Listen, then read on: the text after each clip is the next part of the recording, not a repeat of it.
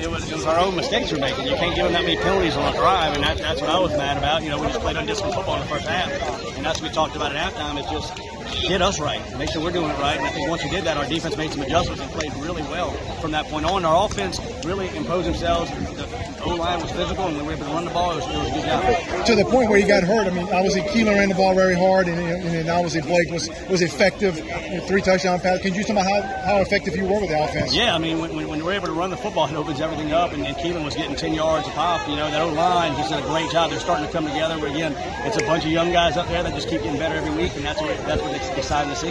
You talk about just from a motivation standpoint, there was nothing on the line for, for a title, but your kids play very hard to, to obviously finish strong.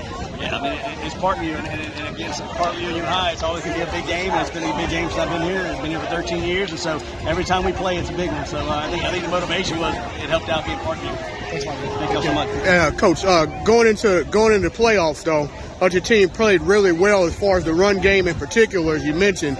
Uh, Moses, he was he was killing it out there. Like I said, almost 10 yards a pop.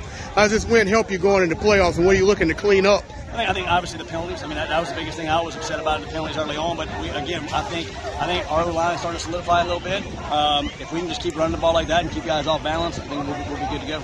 Yeah, I thought it was a really good balanced game though. Yeah, it was. Hey, appreciate it and good luck, coach.